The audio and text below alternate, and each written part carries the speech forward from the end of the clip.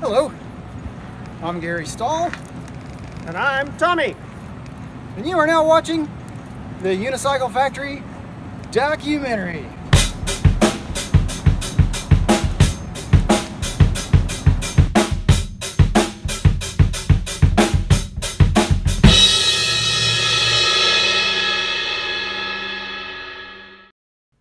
This video was supposed to be about the making of my seven and a half foot tall giraffe from the Unicycle Factory. We will go over that later, but first I'd like to tell you about my friend Tom Miller, who is the Unicycle Factory. He's such an interesting character with his fabrication skills and writing skills that I decided to turn this into an amateur documentary. You're about to learn about Tommy, his company, then the making of my seven and a half footer. Here we go. The Unicycle Factory is located in Kokomo, Indiana. Although the name implies a large operation with an assembly line, it is really just Tom in his garage making custom creations one at a time. It's easy to find Tommy's house. It's the only one with a bowling ball pyramid in the front yard. Tommy officially started business in May of 1984 and has been doing it ever since. He makes all kinds of rideable things but his core business is making custom unicycles. He has made them very small and very tall.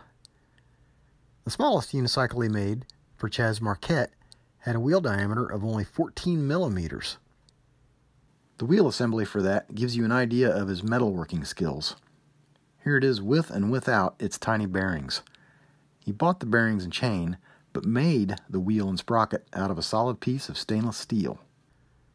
On the other end of the spectrum, Tommy's made unicycles with wheels up to 56 inches in diameter. Unicycles aren't the only products, though. For example, Tommy can make off center wheels. Here's the bicycle guy, Bob Swaim, riding his bicycle with off center wheels from the Unicycle Factory. Now back to the unicycles.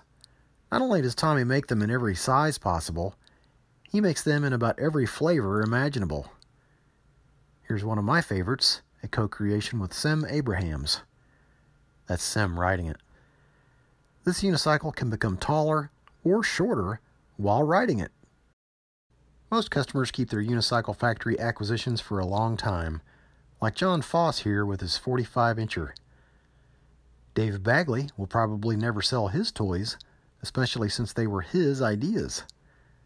This pic shows his crab cycle, which goes sideways. A simple change could be made with the gearing for it to travel east or west. Dave wanted this geared unicycle to pedal backwards like a two-wheeler.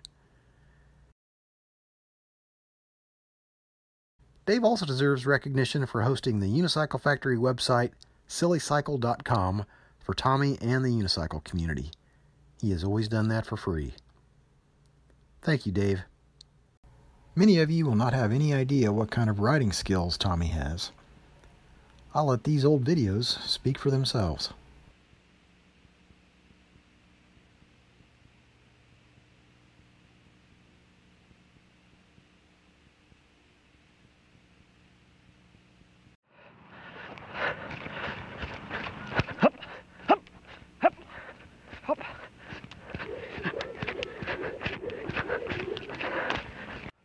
double wheel unicycle. Actually, I enjoyed this one the most over the years because I was forced into having to relearn how to ride a unicycle.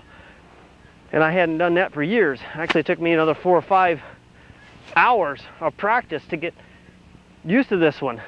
And it actually took me about three and four months to finally find the time to do it. So I guess it was really long and drawn out. The double wheel unicycle. Well, you guys want to know how do we get up on these things? This is how you get up on a five and a half foot tall one. I get three chances. But today, I only need the one.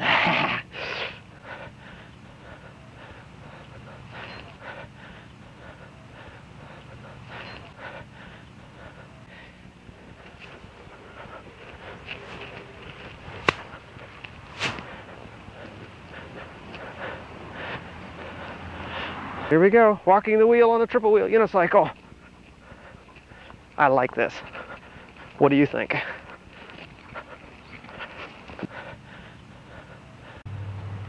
One, two, three, three clubs in one.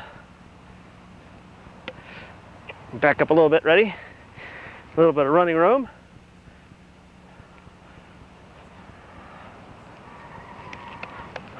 There we go. Juggling three clubs on a 12 foot unicycle.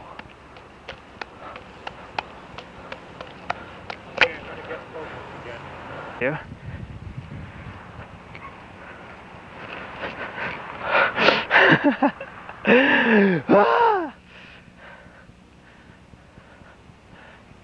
Backwards.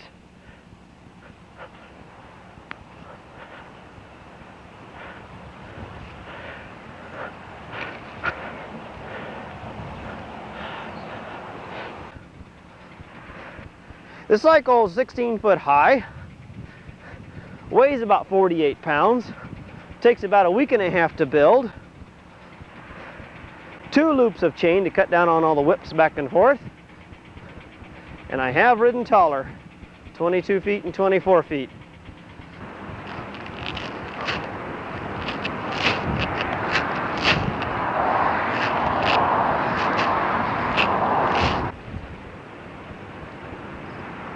There we go.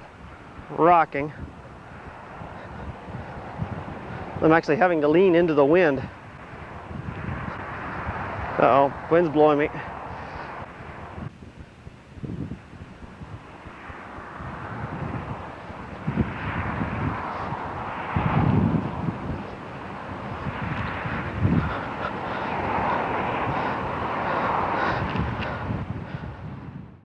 As Tommy said, he's ridden a 22 footer and a 24 footer. We don't have any video, but here are four pics of Tommy with his 22 footer. Here he is again, this time on the 22 footer he made for Chaz Marquette. Moving on up, we have the only known pics of Tommy riding his 24 footer. Only one person has ridden a taller unicycle without safety equipment, and that was Denis Frisoli on a 35 footer. Lastly, we have Tommy juggling and passing clubs with Greg McElwain. All right, Tommy, thanks for joining us. I wanted to do this interview on tall unicycles. That's where you're in your natural habitat. so let's start off and tell them about the history of your company, which is, of course, the Unicycle Factory. You're a one-man show. But before the Unicycle Factory, it was... Well, Tom Miller Unicycles. And I didn't like the way TMU was stamped on the frame, so I was looking for different initials, and there was a place next door called the Potato Factory I liked the, the, the novelty of that sound, and so I, I needed something that told what I did all in one name. It was also Custom Cycles by Tom, and everybody kept thinking bicycles. So the Unicycle Factory covered everything all in one conversation. So then it became TUF, tough, on the frames. So we did interviews on our tall unicycles for like a whole afternoon, wind noise wreaked havoc and trashed our most of our videos. So here we are in my shop. Make the best of it.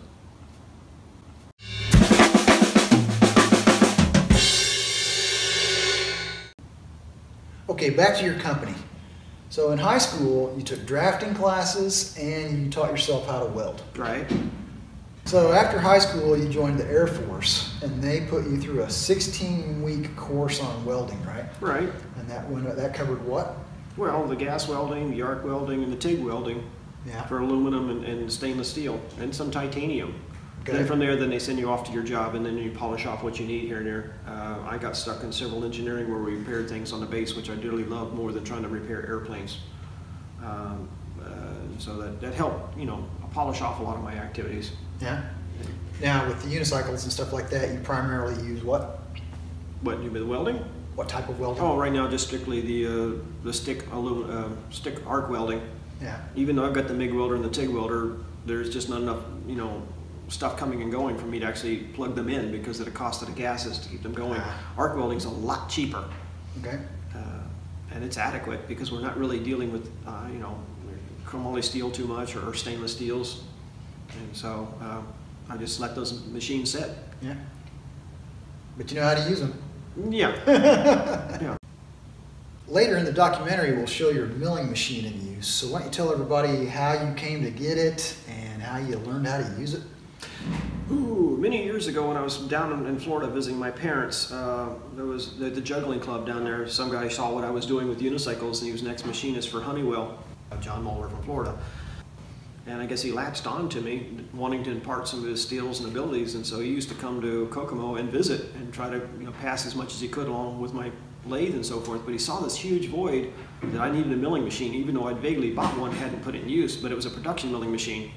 Because um, as far as I was concerned, I just machined small little parts here and there, but he said, you need this milling machine and you need it this big. And I thought this thing was huge at 2,000 pounds, but he's the one that helped finance it for $2,500. But he neglected to tell me about the $4,000 of tooling that was going to go into it. But he was eventually dead on right, and the more equipment I've got to it, it more uh, opens my mind to making other parts and pieces. I get a kick out of the fact that you've made adapters for it using the machine itself. Oh, reverse cannibalism? Yeah. yeah. Um, hold on a second. And so for Gary, these aren't unicycles, but they attach to his ladder to hold his ladder down on his trailer. Surprise! Yeah. You know, and the milling machine allows me to carve these to clamp around his ladder, in, in essence, and, and, so forth. So it just allows. If I didn't have the milling machine, I couldn't have, have you know, really processed those things out. Um, but you know, unicycles are not the only thing I build. I build a lot of other little things here and there too. But unicycles are the primary focus. Remember, I've done like 900 of them so far. Yeah. So uh, I don't have video of it. I'll show you my ladder that he's talking about, and this will be an improvement over the video that you're going to see. So thank you. And the whole idea is to make it more stable. Yeah, yeah, yeah. Hold, hold the ladder down because it's wobbly up there. it gets the job done, but it's a work in progress. So we need better turnbuckles. Yeah. Thank you.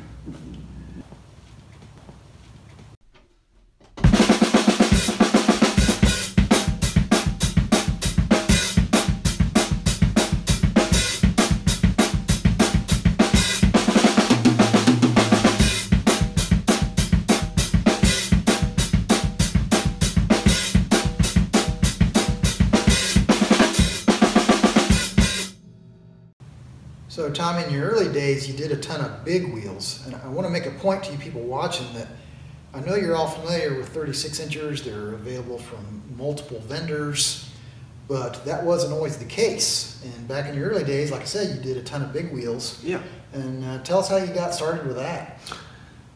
the original unicycling newsletters from back in the 70s spoke about Wally Watts riding around across Canada and eventually around the world on his unicycle. And they conveyed, or Bill Jenack would actually convey some of the construction techniques, taking an old bicycle rim and stretching it out and making a much larger rim out of it, uh, rewelding motorcycle spokes and threading them you know, to make them extra long and modifying a, a, unicycle axle or whatever he did at the time and where they got the rubber and Bill Jenack told us where we can get multiple locations of the rubber. And I figured if he can do it, then I'm going to take a stab at it also. And I bent my rims out. And uh, luckily, because we moved to Indiana, we were only 90 miles away from one of the rubber suppliers. And with me and father, we made a father and son trip up to uh, Huntington, Indiana to have the tire put on. Um, and so little things, well, somebody else found me the size thread location for the, the bicycle spokes. And I spent two weeks delivering newspapers to earn enough money to buy the threader to thread the spokes. And so it was just a nice little long quest here and there. And after I built it, I think the first one was 48 inches, and you know I got featured in one of the unicycling newsletters for what I did because I took information and we got reprinted again as far as what I did. And uh, one time I even did an air pneumatic tire, and Bill Jenack says, as far as he's concerned, this is the first large pneumatic tire out there by sewing two tires together. you guys missed out on a lot of fun. So uh, Paul Fox was one of the first ones to ask me to build one, and his daughter used it to ride 100 miles for the female world record of 10 hours and 37 minutes. Floyd Beatty ordered a 40 inch and then later a 45 incher for his world record efforts to ride uh, 100 miles in like 7 hours and 15 minutes. Um, and so I did about 100 of those large big wheeled unicycles, but once the uh, Coker 36 inch tires came out, that was the end of it, except for Marty Atchell, who's in his late 60s and still active and riding his ultimate wheels. This last one was a 48 inch ultimate wheel. The biggest one I've done was for Chaz Marquette, 56 inch wheels. Now, what possessed you to ride taller and taller unicycles? Well, uh, some of us, we always strive for better and better. And of course, you know, then you start seeing other people uh, riding taller ones. Yeah, that backs again with the unicycling newsletter to show you Clyde Crandall and Floyd Crandall riding a 16 footer and a 20 footer Well, if they can do it, then I want to do the same thing too. So you just start doing more because you're going to get more and more attention. Right? And so, you know, and eventually you'll be on a 10 footer, we understand. I own one, and you made it. So you just got to work your way up there and realize that they're all the same. And don't forget Connie Cotter, female world record at 16 foot that I built. Yeah. So, you know, once she realized she could do a 12 footer, then the 16 footer came out next after that. So don't forget about Connie. She's she's got the world record for females. Yeah.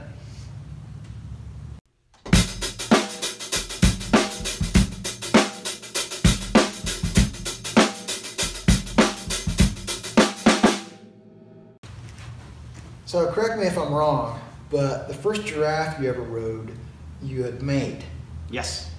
and it was how tall? Eight and a half foot tall. It's the piece of pipe that I found at the scrapyard determined its height. So you went from riding a regular unicycle to an eight and a half foot unicycle. Yeah. That's nuts. I'm nuts, and I can prove it. So I've asked Tommy to close his eyes. I've got a laptop here with a picture he's not seen uh, in this particular fashion. Okay, go ahead and open your eyes, Tommy. Yay! on the left is you, and on the right is Chaz Marquette. Those are 22 footers. That's actually the same unicycle. The same unicycles. Tell us a story about uh, what we're seeing here.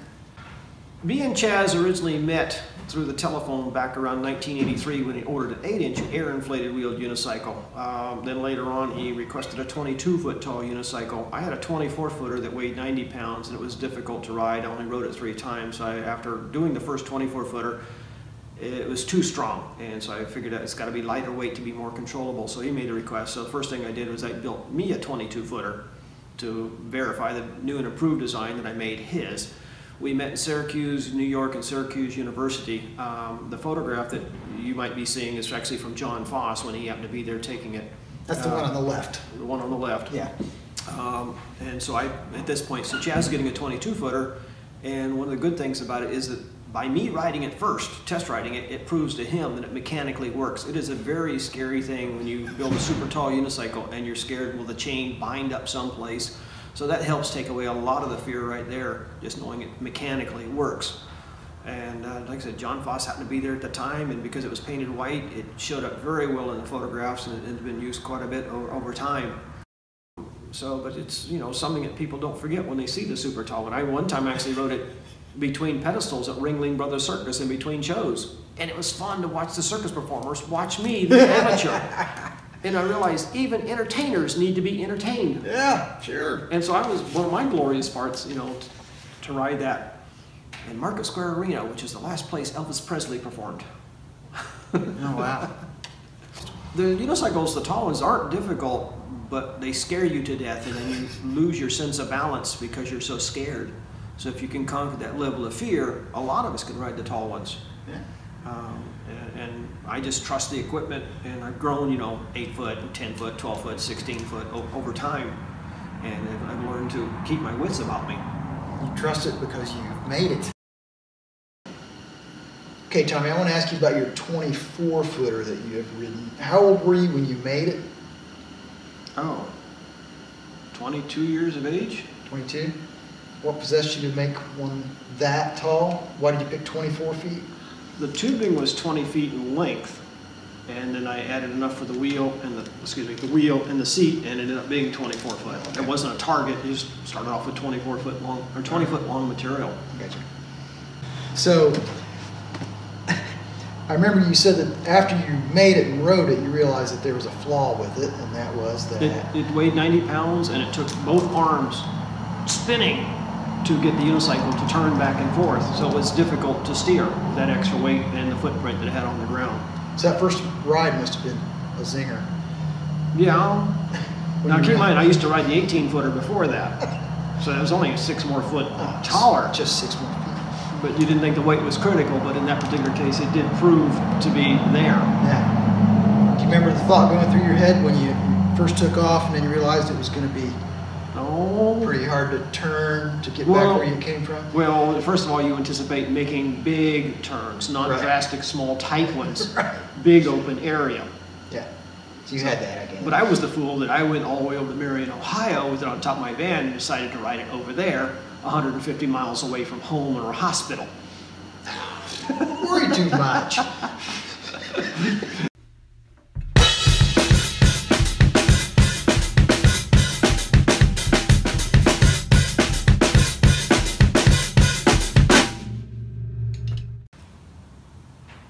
Tommy, I'm going to show your business card to everybody for two reasons. One is uh, so that they can get a hold of you, which would be by phone. that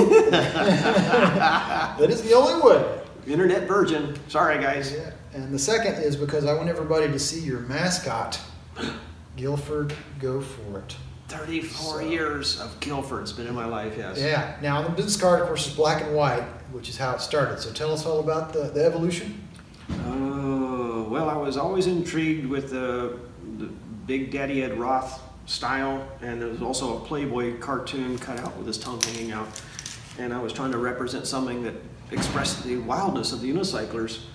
And I was talking to John Foss about what my goal was with a stick shift in one hand and a steering wheel in the other hand and tongue out and pedaling down on the unicycle. And ironically, his friend Mike Cazalet from high school used to draw this style, and so I guess he conveyed to Mike, and all of a sudden it shows up one day, and it is glorious, and just all the little details with this, the tongue and the saliva coming out of it, and all the muscle tone here and there, and I just always look at all the little details, except for right here, he left part of the fork off over in there. in essence, but it's still great. It probably would have added clutter to the frame, but it's just it's been with us for the last 33 years. Oh, yeah. Became a staple. Now, this particular version uh, came from John Moeller, right? The same Yeah. guy that uh, helped with the milling machine. Yeah, John used to fly in from Florida and spend as much as a month at my house back when people used to come and visit for several days.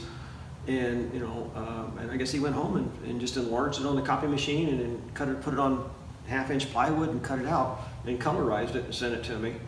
So just you know, there's been a lot of people contribute here and there. Bedford, Darren Bedford had buttons made up with them all over the place.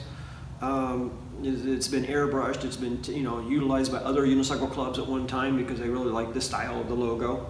They'd always seem to ask for permission, and I always get a free T-shirt out of the deal, so that was kind of nice. I just it expressed kind of how we felt. Yeah. And then this guy? Uh, this was done at the Sharon, Iowa Unicycle Meet. They, they had a local woodcarvers club up there selling little miniature unicycles, uh, caveman or whatever at the time, you know, for like twenty dollars a piece. And I was intrigued. why Well, you guys do carving and everything else. Uh, can I ask you to build me a three-dimensional one out of it? You know, carve it for me. And I offered the guy, you know, one hundred and fifty dollars because they were already doing the other stuff for like twenty and just asked for it to be a little bit bigger. And several months later, it shows up much bigger than I anticipated, and found out the guy spent 100 hours at it. So I, even though I offered him 150, I gave him $300, trying to be vaguely fair about the whole thing. It's painfully, very rarely does anybody ever see the guy. Lots of people are going to see him now. Yes. It was money well spent, I would say. Yeah. Last but not least, we give credit to the artist here. Harold Clark is the guy that carved this. Thank you, Harold. Nice job, Harold. so I need to explain to everybody why this, why we're doing this documentary in the first place.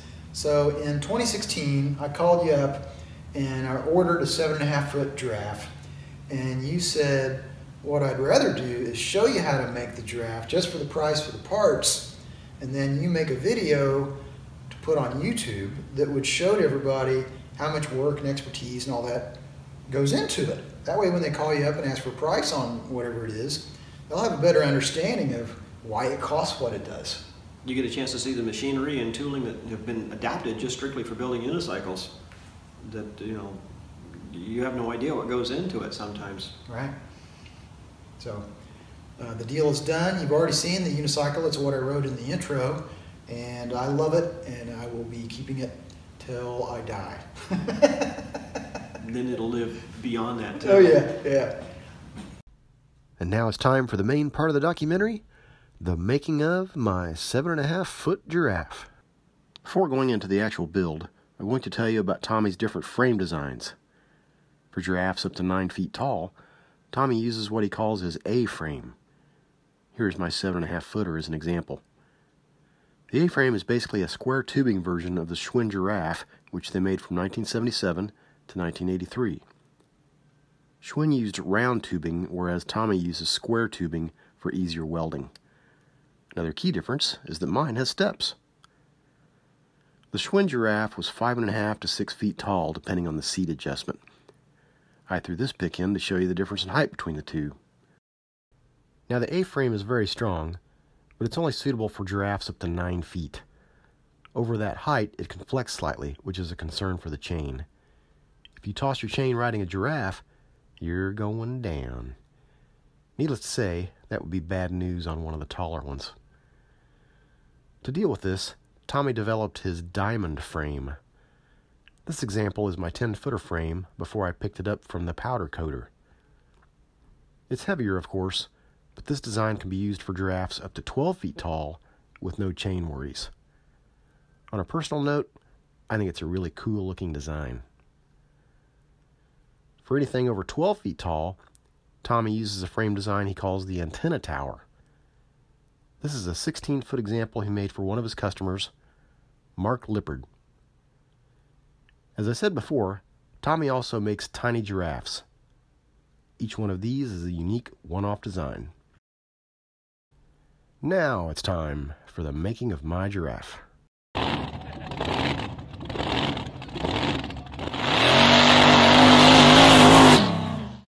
Tommy's made lots of seven and eight footers, but I was the first to request a seven and a half footer. For that, he had to modify his seven footer design. Rather than just make it six inches taller, he made sure we would arrive at that height with the seat adjusted for my legs, which are short. The change was made in the length of the fork blades. For my custom uni, they would need to be a little over 54 inches long, 54 and 3 eighths to be exact. Those fork blades ended up being the first thing we worked on. Tommy pulled out a long piece of 1 inch square tubing and we cut two pieces to length. As you can see, my giraffe will have some long legs. Here's an old sample that shows our next two steps. If you look at the left side of the sample, you will see what each fork blade will look like after we flatten them. The right side shows what they will look like after having a slot milled into them.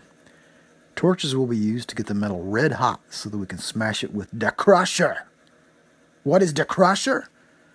You're about to find out. So, Tommy, is there a preferred end to stick in here to smash? Oh yeah. What you want to do is find the actual weld seam because it has more imperfections and you want to hide it inside the frame. Uh-huh. And that way it won't show up through the paint as bad because of it. So that part down? Yes. The weld seam down.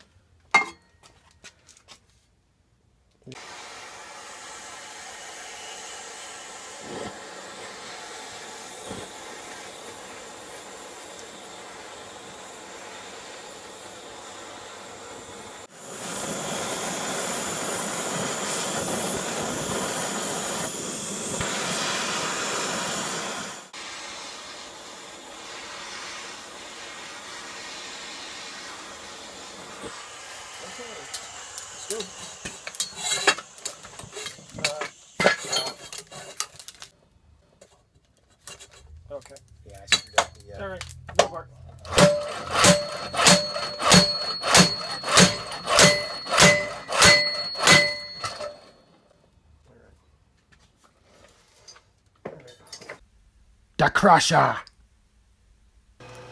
Tommy made Da Crusher, by the way. You'll see many more tools he has made as we go on. Here you see me using Tommy's milling machine to create the slot where the wheel will go. I'd like to point out that I am not a metal fabricator or machinist. Anything I know about these things I learned from Tommy during this project. The general agreement we had was for me to do as much of the work as possible. Tommy would demonstrate a skill, then have me do it. There were some exceptions, like welding. Tommy did all of that. I learned that most of the knowledge and expertise with the milling machine lies in the setup for a specific task. Once it is set up, the actual milling is not difficult.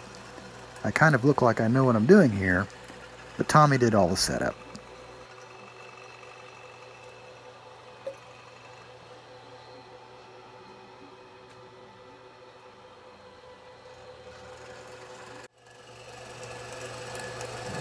Crank the handle one full turn up. This one, one full turn.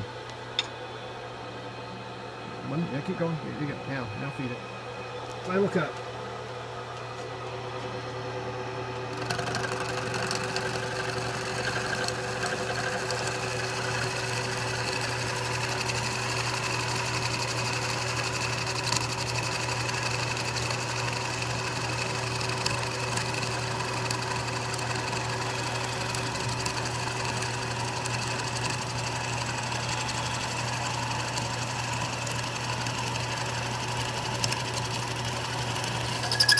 Back it back out. Alright. Make sure all the warpage is up. Excellent. Come on, machine.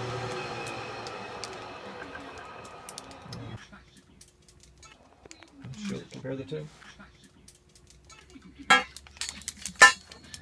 Before and after. Oh. Put them side by side. Oh, I got you. Like this?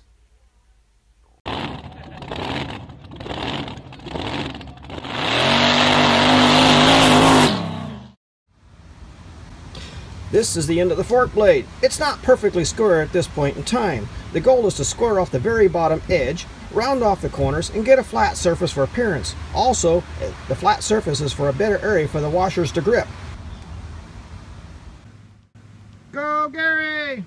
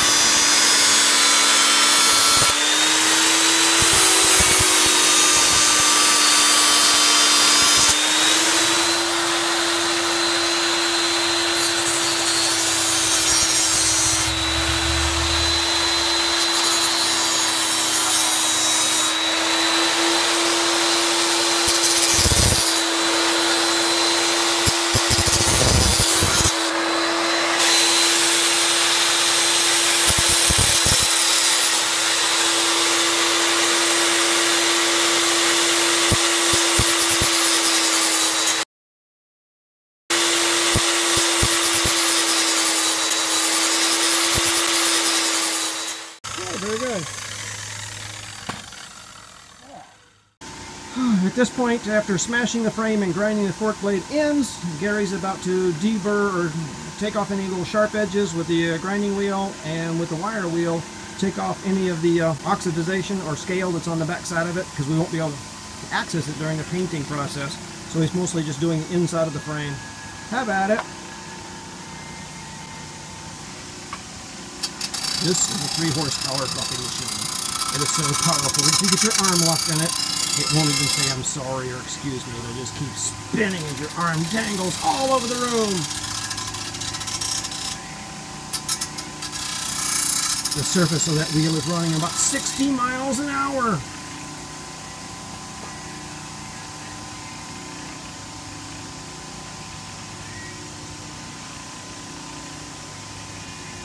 Got a rough spot.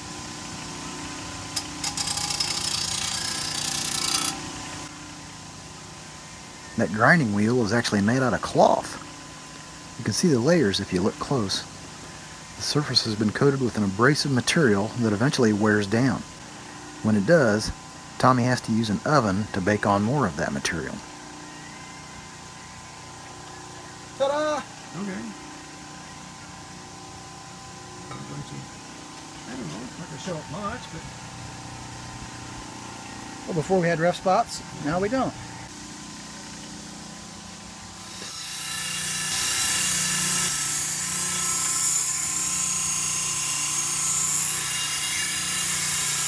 This will take a while.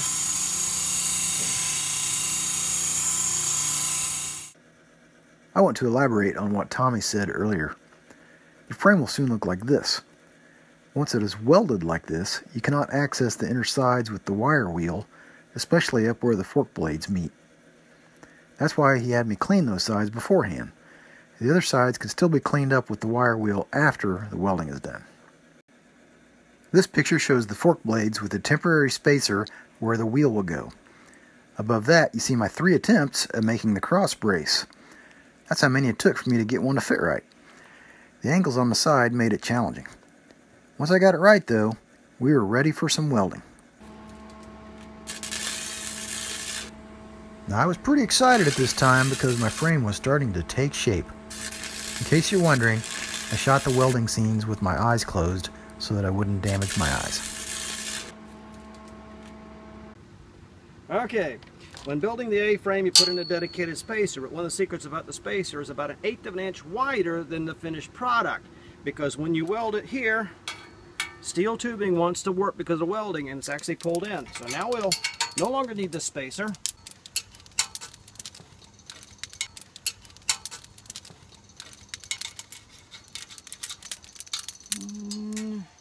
And when you move it, you'll find out that actually has crept in about an eighth of an inch wider, hopefully match the unicycle axle when you're all done. Then more time was spent using the angle grinder, grinding wheel, and wire wheel so the welds would go from looking like this to looking like this. Sweet! Next, we cut a piece of one and a quarter inch square tubing for the top part of the frame. You can now get a feel for the size of the giraffe. That piece of square tubing will go along with this piece of round tubing to make what Tommy calls the seat mast. This picture shows the progression from separate parts to completed seat mast. There are three challenges we will deal with. One is the fact that the inside diameter of the round tube is too tight for the seat post to slide in. Second, the round tube needs to be welded inside the square tube, but it fits loosely. Lastly, the round tube must be centered and straight when it is done. All these challenges will be overcome.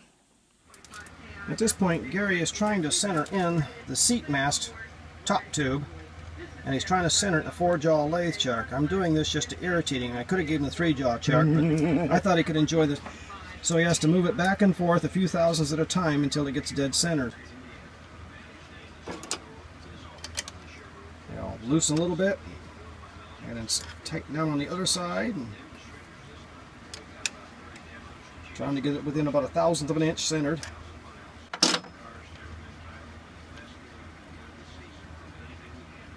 Check, check, recheck.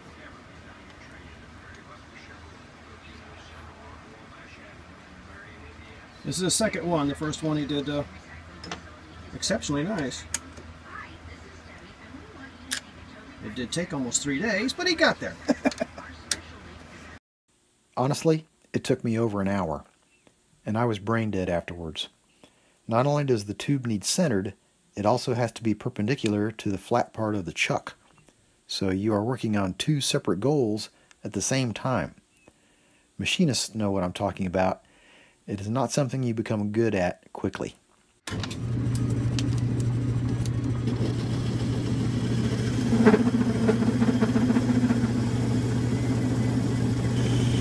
I'm not drilling out much, just a 20 thousandths.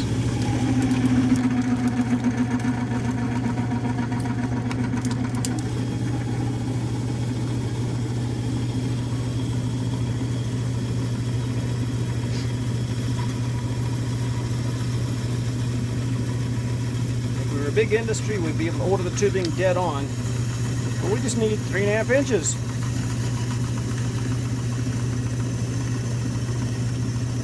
So I have stuff that's close, and then I cut it as needed. That was it for day two. My brain was mush, but I left very happy.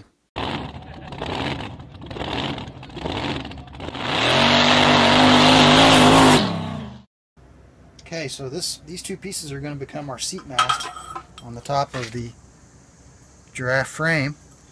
And this has to be welded in here, but as you can see, there's some slop. The inside has been machined to where it needs to be. So, the trick is going to be, I'm going to sacrifice some tape about that far in. Tommy says about four times around, once, twice, three times, four times. Roughly should give us a snug fit.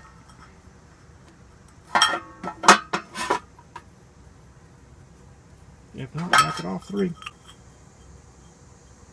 Oh, That's about right. And one sticking out two inches. Two inches. We'll measure that up. So now that we've got that in there with the tape, uh, it still has a, the possibility of being off at an angle when it gets welded, and we don't want that. So Tommy has a, lack of a better word, a jig piece. This part's going to go inside of this and make sure that it's true. And we got a piece of tape in here so that it will be snug sitting inside there.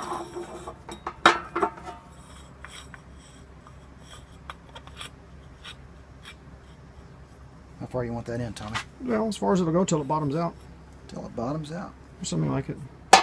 Ready for welding. At one point in the project, Tommy asked me if I wanted to try welding. I declined because we had already done so much work on a giraffe and I didn't want to screw it up. I also didn't want to take any more of Tommy's time. He was being very generous with his time the way it was. So here I've only just tack welded it with the uh, 6011 rod to make sure it's all centered and located. Now I'm going to hit it with a 7014 rod, which is more mellow and doesn't have as much penetration, but it'll give a smoother weld when you're done.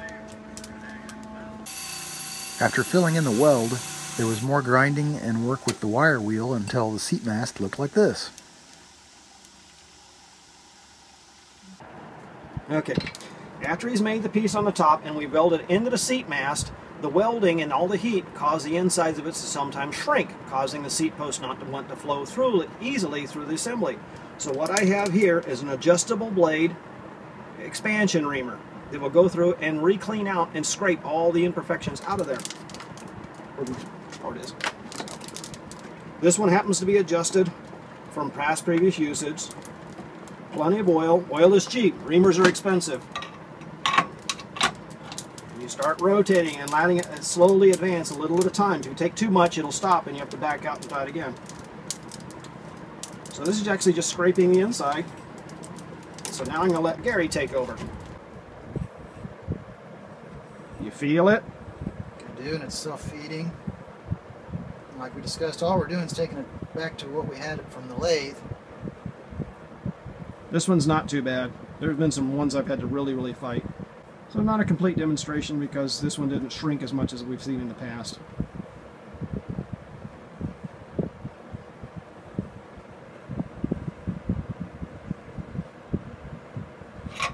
Ta-da! Oh, yeah. So tell them what we're doing next, Tommy. Well, at the very top, he's got a little bit of a burr on the very edge. So he's going to use a deburring tool and just round it out. Just sit there and hand crank it. Okay, I'm starting to get the feel for it where you're hitting the edge, the curved part of it. Might need a little bit more force in there. Cause that tool to bite in there. Now I'm feeling it. You've gone too far when you break it. Oh, okay. So maybe we can get some. Well, it feels clean. With the seat mast done, it was now time to start working on this simple looking round tube. Believe it or not, several hours were spent getting it right due to its important function. Why? Let me put it this way. If you're riding a bicycle and the chain comes off, you're probably not going to end up breaking any bones. Okay, so we've actually taken a long length of 2 and 3 eighths tubing with a uh, almost a quarter inch wall thickness and actually cut off a 2 and 3 quarter inch piece of material because the saw is not going to cut perfectly. We will now put it on the lathe and true up both sides so they're parallel. So we've actually added extra meat so that when we're cutting, the uh, finished product will be 2 and 5 eighths.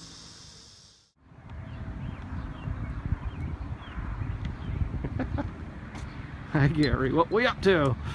Well, I wanted to talk about some terminology. So on a bicycle, we call this the bottom bracket. Yeah. And here we've got the piece we're going to use for that on my unicycle.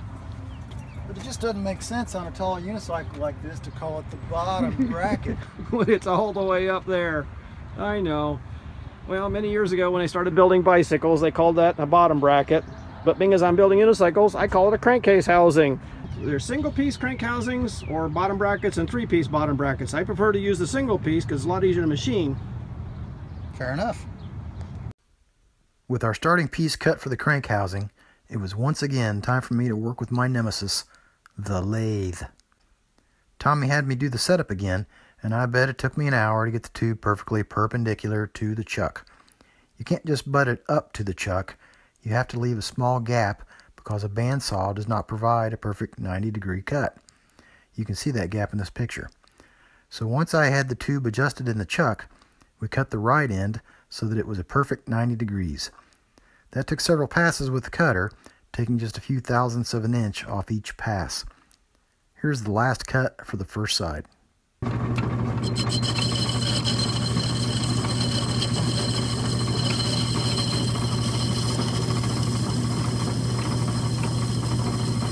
Here's the difference. Yeah.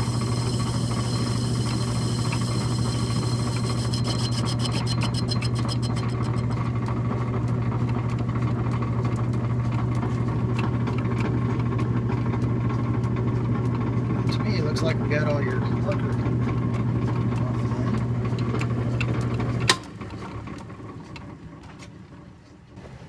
Tommy put some brown marker on here, and it is gone all the way around. I believe it's true. Yes. Once that side was true, I took it out and painstakingly mounted it in the chuck the other direction. This time I was able to butt the tube right up to the chuck since that end was true, but I still had to make sure it ended up perfectly perpendicular to the chuck. Then we cut the other end of the tube until it was true and at our goal length of 2 and 5 eighths inches. By doing this, we guaranteed that both ends were 90 degrees and parallel. Otherwise, the crank assembly would not work well. Yodelay, yodelay,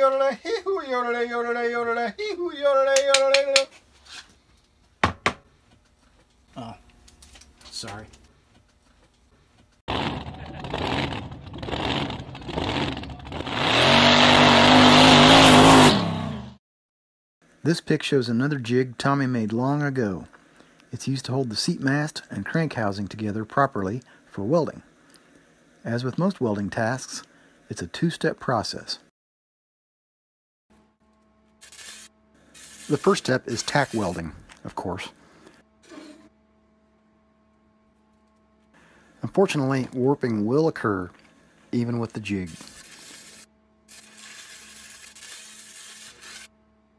Here's Tommy measuring to see how much the seat mast went off course as a result of the initial tack welding.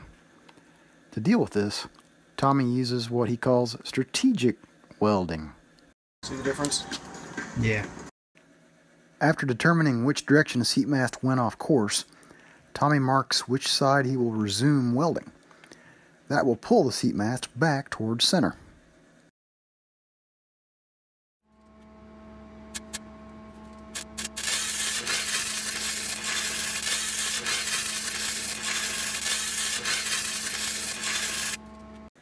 Once that welding was completed, we polished the part and set it in the milling machine. Here we are creating a slot where the seat clamp will go. After it is done, we will make another slot on the opposite side. Two slots are necessary for the seat clamp to function right due to the thick material of the round tube.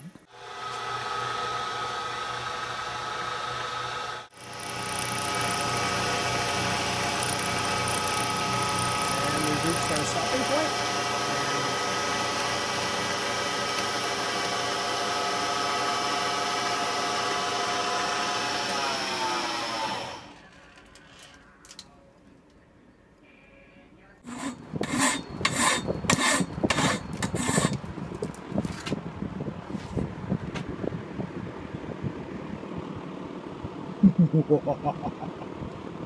While editing this video, I realized Tommy filed the top of the fork blades to better mate with the crank housing, but he hadn't done that to the bottom of the seat mast. I asked about that, and he said it's because the square tubing of the seat mast is much thicker than the square tubing of the fork blades. Because of the thicker seat mast material, Tommy could overcome the gap without burning through the metal. With the thinner fork blades, he needed a better fit, otherwise he could have easily burned through the thinner material during the welding. The seat mast tubing is thicker than needed because it provides a closer fit for the round tube. Remember when we put tape on the round tube to help center it for welding? There are numerous little details in Tommy's plans that all have a reason. Any one detail could be changed, but it would result in changes needing to be made elsewhere. And now it's time for a very exciting part of the project, the joining of the top and bottom frame pieces. Tommy has more jig work ready to hold the pieces in proper alignment. He made the special clamps at the top and the bottom. So we're getting ready to weld it. And because I'm welding thick material to thin material, it's too easy to burn through. So I've got this little secret weapon of just a filler material that I lay in there. You need filler anyway.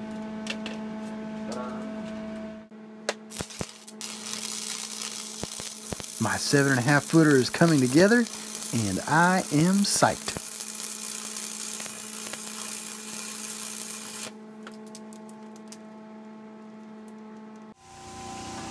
Starting to get real, Tommy. Real tall, that is.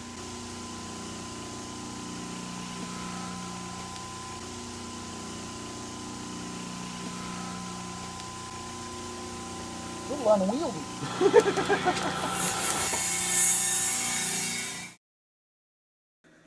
After welding the top piece to the bottom piece, the crank housing is milled out to the proper dimension to receive the bearing cups. The actual piece that does the cutting is called a ground to size shell reamer. It has one purpose in life to mill crank housings to spec so that cups fit properly. This process had to be done after the welding due to, you guessed it, the inevitable warping. After milling both sides, the frame was in a state where it could be ridden. It wasn't done, of course, but it was cool knowing the frame could actually be used at this point. That wrapped up day four, and what a day it was.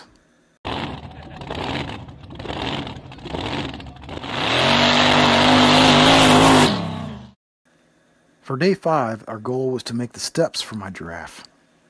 Since I requested an odd height of seven and a half feet, Tommy gave me the option of having one or two steps. Because of my short legs, I opted for two. After figuring out where the steps would go, Tommy had me cut two pieces of eighth inch thick steel. This pic gives an overview of the bending process. The first piece on the left shows scribe marks where the bends will be made. The piece in the middle shows what it looks like after the first bend. That bend curls the step upwards for my feet to have some traction on the step. The piece on the right is upside down, but it shows the 90 degree bend where the step will be welded to the frame. Here I am using an adjustable T-square to get the scribe marks where they needed to be.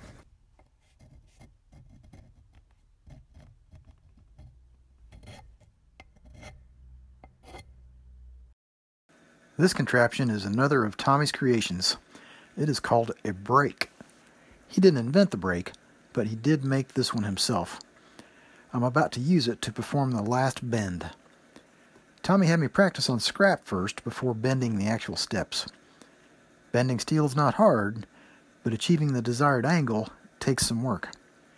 If you want a 90 degree angle, you must bend it more than 90 degrees due to spring back. The amount of spring back varies somewhat with each piece. You determine how far the bend needs to go, then adjust something called a stop so the brake will not bend past that point. The steps aren't done yet because I need to round the corners and modify them for chain clearance. That required some of this and a whole lot of this to end up like this. The contours aren't perfect, but at least I can say I made the steps myself. These would be the final welds on the frame. It was very gratifying knowing my custom frame was almost complete and that I had done a lot of the work.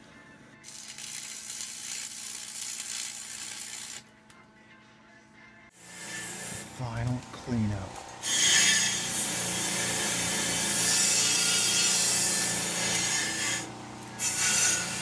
I've asked Tommy to do it because it's quite difficult managing something that large. Normally, Tommy paints his unicycles metallic blue. I opted to take mine to a powder coater for the loudest shade of orange they had. They didn't offer a neon orange, so I settled on this shade they called fluorescent orange. When I took this picture at the powder coaters, I was like a little kid on Christmas Day.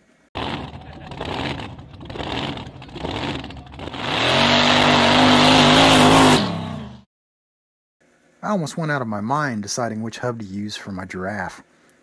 I didn't want to use a track style hub like you see here on the left, so I thought I'd use a Schwinn bolt-on style hub that I had in my collection. That's it on the right. As you can see, it uses three bolts to hold the sprocket to the hub. It's a 28 spoke design, which worked fine for their giraffes. Unfortunately, that would necessitate a 28 spoke rim. Those are not plentiful unless you go with a Schwinn S7. Using that forces you to use their odd-sized S7 tire. All fine and dandy, but I prefer a standard 20-inch rim and tire. Nimbus offers their giraffe hub, which has 36 spokes and bolt-on sprocket accommodations for 6 bolts. Awesome! I did go with that, but it created more issues when it came to sprockets. First of all, Tommy has always used a one-piece crank. He notes they are strong, plentiful, and inexpensive. All his plans and jig work are based on one-piece cranks. So one-piece crank it is. But the Nimbus hub is not designed for a one-piece crank. Therefore, we needed to make a sprocket compatible with a single-piece crank. Okay, so I bought this hub and this sprocket from unicycle.com. That's a Nimbus hub for their giraffe. It does support the bolt-on style sprocket. I'll have to get bolts, but uh, that's preferable over the track style, correct? Got the right words? Yeah. Okay. So I went ahead and bought a second one of these, thinking we would use it for the bottom bracket. But then Tommy pointed out that even though it has this, we got a big issue with this. We would not have a major issue if we used a standard bicycle sprocket. As you can see, it fits up tight. It just needs welded in place to get rid of the small bit of play you have in there. However, these parts are cut out and that weakens it. So it could flex and then the chain could possibly come off and then you crash and burn and break bones. So, what's a guy to do?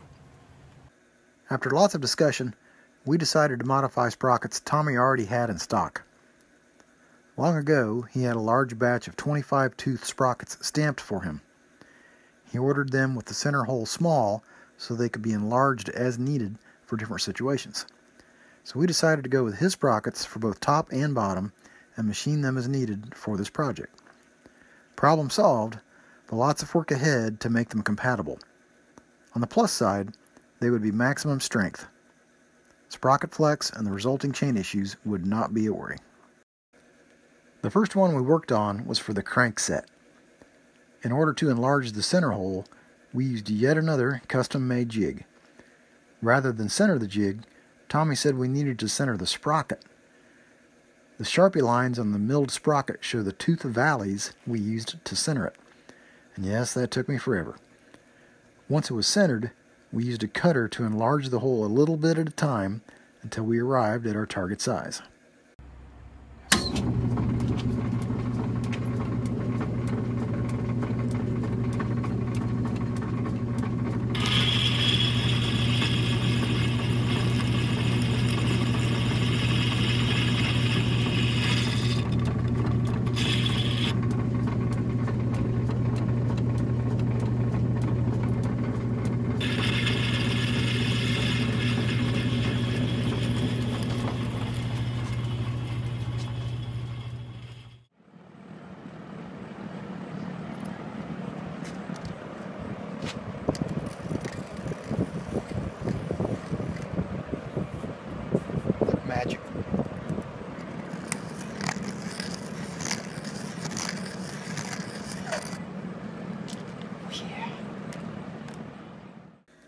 Once we had the center hole cut, Tommy milled out what's called the drive pin hole.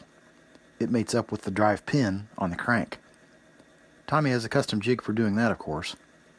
At this point, you've probably lost count of the number of jigs Tommy has made. The wheel sprocket also required lathe work to enlarge the center hole. Then Tommy created the bolt holes using the Nimbus sprocket as a template. Could I have received a better result? No way.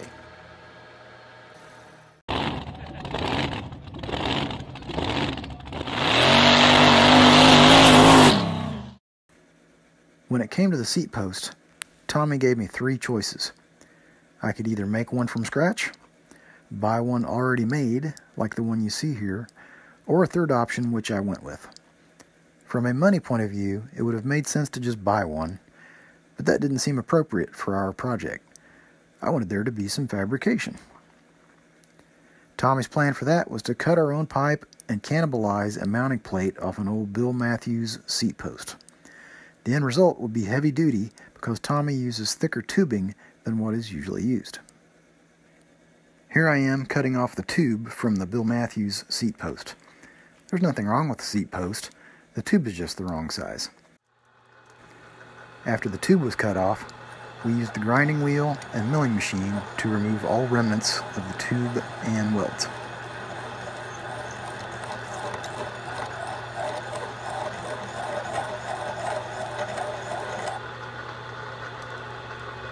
Okay, I'm happy with that.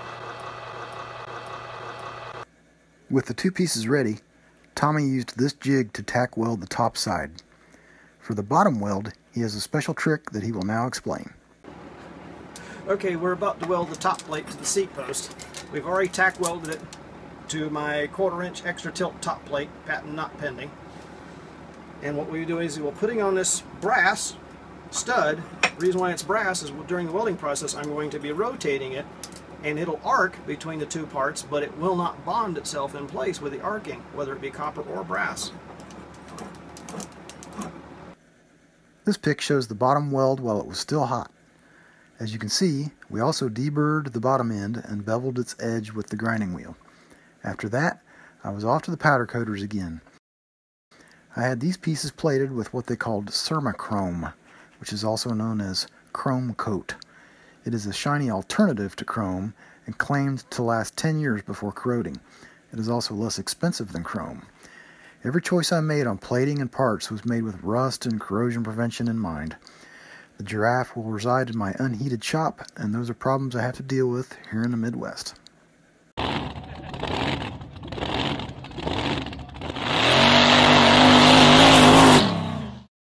Okay, so we've got seven days down and two to go. For day eight, we had the simple task of building the wheel. Simple for Tommy, but not for me. Down to the final one on side one. Oh, yeah. Just like an old-fashioned record, now we got to flip it over and play the other side. Okay. So tell us about this rim a little bit here, Tommy. What's there to know about it? It just Gary chose to have a double wall aluminum extruded rim. I wanted aluminum because I don't want to ever rust. I wanted double wall because I'm an overkill kind of guy on strength. Okay. Grab the spokes that are dangling. And flip the wheel over.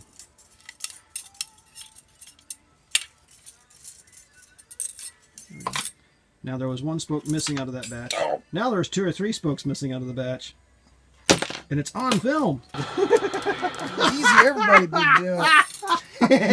Are we starting over? well, at this point, Gary's put in half the spokes on one side of the wheel. And now we've actually got to look from one spoke to the other spoke to judge the final alignment so that it ends up properly in the valve hole. When it's all said and done, you're supposed to leave a great big open gap at the valve hole so it's always easy to inflate the tire.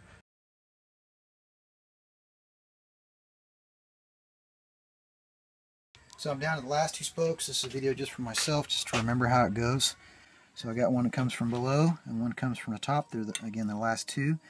The way I remember it is I look for the last one that came from below. I find it, and then I count four spoke holes over. One, two, three, four. That's where it's going to go. And then the guy from the top looks like it just dropped over, but they have to cross, which is counterintuitive because they kind of bend and, and hit each other. And then I put the nipples in, and that will complete it. So they've got a, a big enough opening that the nipple can go sideways, and you have to bend this a little bit to mate up with it. And then you take the special tool that's got a nipple and looks like a flat blade screwdriver. Get it started a few threads. And then do the same thing with the very last spoke.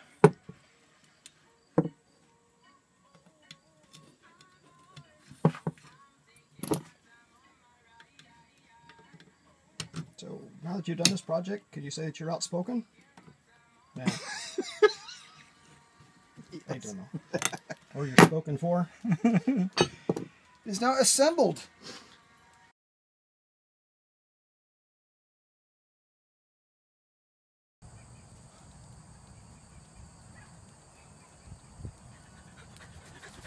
It's. Well, Gary has spoked up his wheel. You know, we're at the wheel truing phase. And what we have here is my wheel truing stand collection. When you ever buy a bicycle from a basic discount store, they actually are told to true the wheels on the bicycle without getting worried about the, uh, the tightness of the cups and the cones and the trueness of it. So originally I started off with your basic truing stand and that served me well for years. As people were starting to order more and more smaller unicycles, these little 12 inch and 16 inch wheels didn't really fit into the truing stands were meant for 20 to 27 inch wheels. So I actually bought another truing stand and resized it down so it actually would actually true 12 and 16 inch wheels mostly for double wheels and triple wheelers and standard unicycles. So there's another dedicated one. But I always felt bad that over the years, when you trued a wheel, a true unicycle wheel, then when you put it in there, it wasn't being trued on the bearings, but it was resting in the fingers on the axle, which weren't a constant. And I felt bad, but eventually the industry created a total different truing stand. These arms, when they go, they pivot in and out. These arms, when they go, they run dead parallel. So for about $350, I bought this one and modified to actually ride on the true unicycle bearing the way it would actually sit in the unicycle fork and would get a better truing job out of it. But way back, around 1981, when I used to build a lot of large wheeled unicycles, I actually built a dedicated truing stand just to true the large big wheels that we used to ride. And so that one is sitting there also. So this gave me better jobs. Whenever you buy one from somebody else, they may actually just be truing it on the frame because that's what their resources is. They're only just putting together one wheel. But I actually have a dedicated truing stand for large wheeled unicycles and it has been used all the way up to 56 inches with attachments to it. This is my truing stand collection. Nobody has a bigger one than I.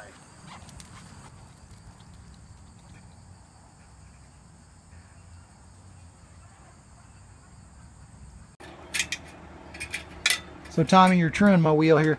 What are the different aspects of truing? Well, for normal bicycle wheels, you want both side to side and up and down uh, so that you don't vibrate so much with the up and down when you're riding. So you want to bring that critical also. So if you're a high-speed bicyclist tooling down the mountain at 60 miles an hour, you will feel those vibrations. But we don't do 60 miles an hour on unicycles yet. Now, a 10-speed bicycle could have an offset dish, right? So obviously we're not doing that.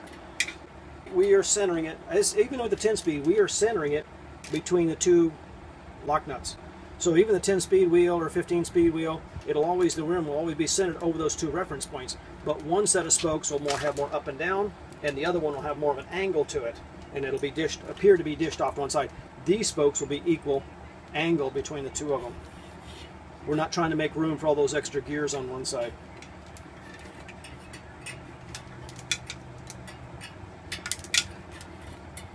So on a good day, if you've got a wheel assembled, how long does it take you to true it?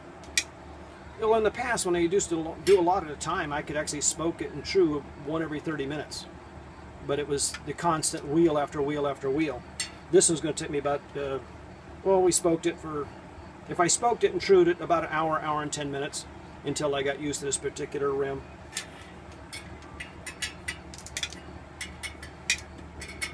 How long does it take you to true a one of your big wheels?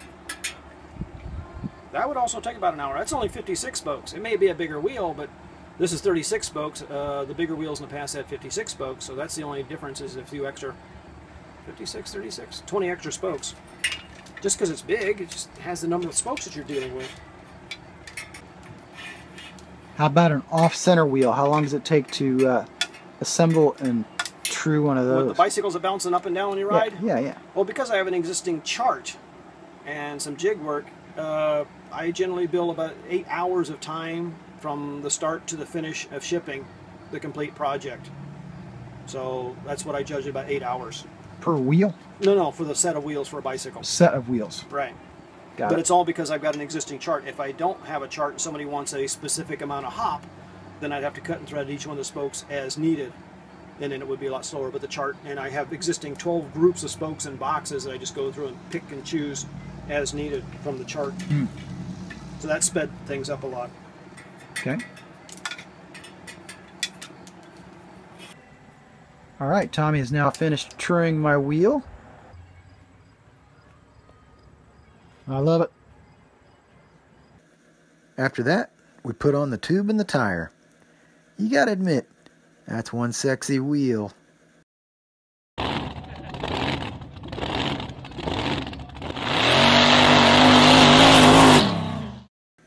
If you're watching this, you might think all we need to do is assemble the unicycle. That's not the case. Important steps remain that will make the difference between a good result and an excellent result. Okay, we're at the stage now where we're about to weld the sprocket to the crank arm to eliminate any play from rocking back and forth. So here I'm actually going to spin this and carefully look at it. The hole in the sprocket is slightly bigger than the crank arm. This allows for a little bit of play and the sprocket will get off center. And so I will carefully tap it until it's centered. Although not as critical on the super tall unicycles, but it is really critical on the short four footers and, and five footers where the chain would get tight and loose more noticeably. So it's just using your eye and, and tapping it little by little by little. And I'll find the high spot and I'll put it in the saddle of the tooth. Not pound on the top of the teeth where I'll bend them. It's kind of like truing a, a wheel for roundness. Right.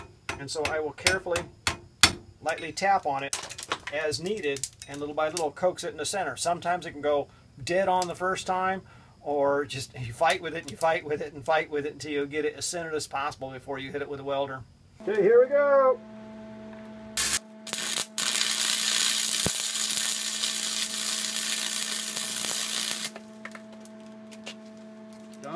Side.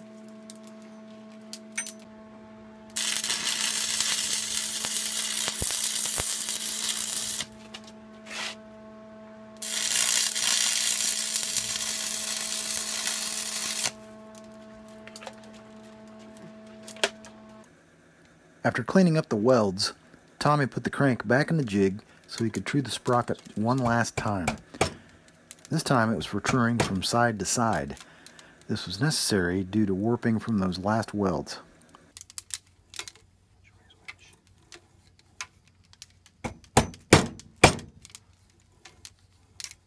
I'm not tapping over individual teeth, but the sprocket as a whole.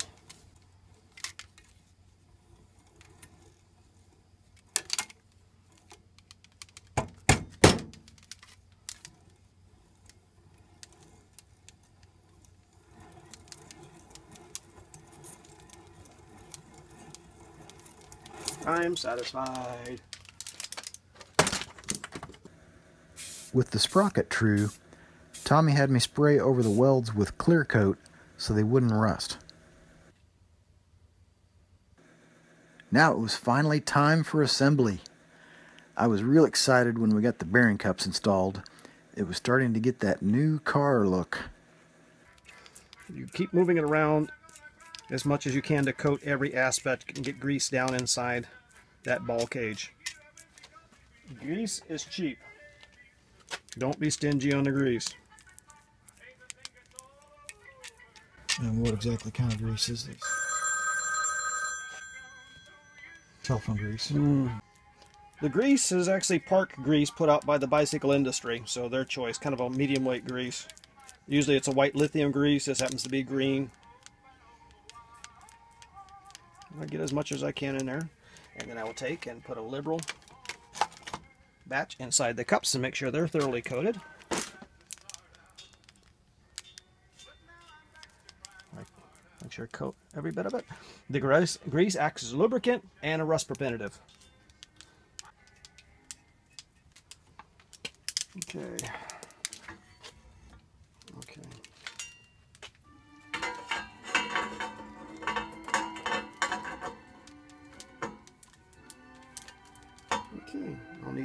Cage.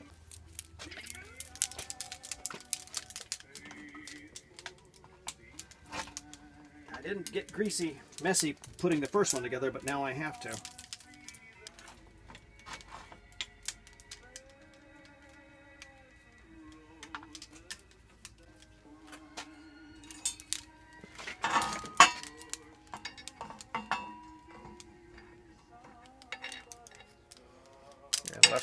Cycle has a left-hand thread.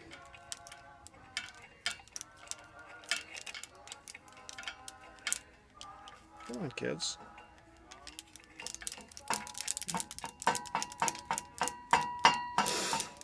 Now we'll assemble it and it'll be a little bit snug and it's after the test first test ride sometimes you take it apart because the cups will actually seat further into the frame from the, the tightness of the chain and the balancing and the hopping. Okay. If I were shipping off a unicycle, actually we'll test ride them first and then disassemble them to put in a box and I'll check and verify and make a second stab at adjusting it. Okay. But if I've done it right to begin with, it usually rarely needs a second adjustment.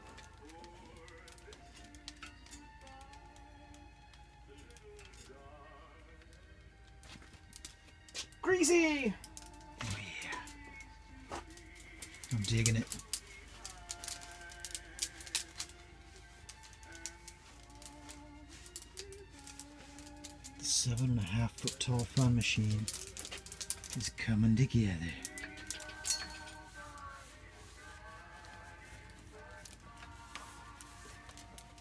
Okay.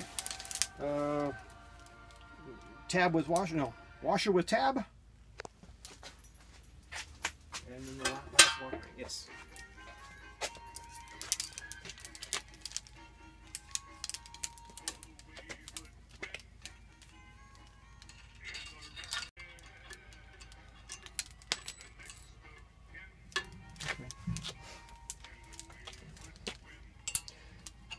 There's what I consider unnecessary bounce back and forth. So usually what I do that just to minimize the play.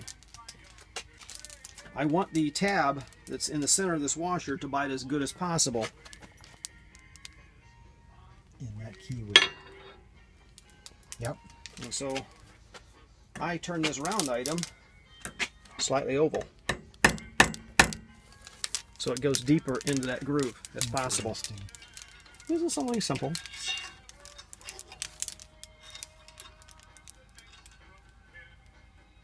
Lot of details. Yeah, a little bit more.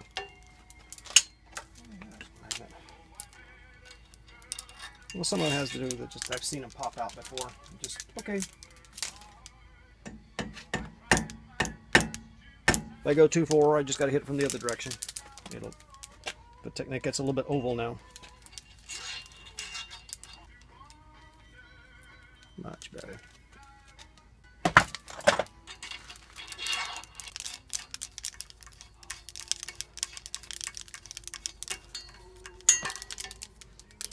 Want to feel the tightness I got going on right now for the moment. Make sure it's not loose. But it will go on there just a little bit tight on purpose. At that point, it was time to move on to the chain. We needed three boxes of chain for my giraffe. This is a hand tool pin pusher for extracting the links out of a chain. We don't want any master links on the unicycles whatsoever. So we'll assemble it as one piece. Here we're going to push out the pin. Mm-hmm. where's my needle nose? There we go. And remove the unnecessary piece, leaving the pin still in there. Hand me another chain.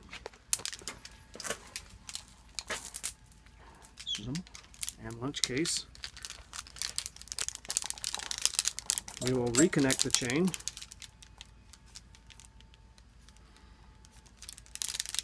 And push the pin back in place with the same tool.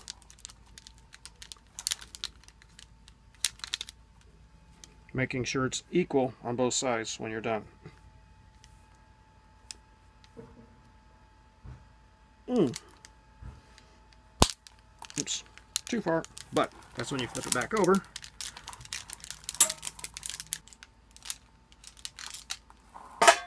Starts to be equal. It's still stiff, but what you do is you take it and you wiggle it back and forth and twist it. And now the stiffness. Not, not quite enough yet.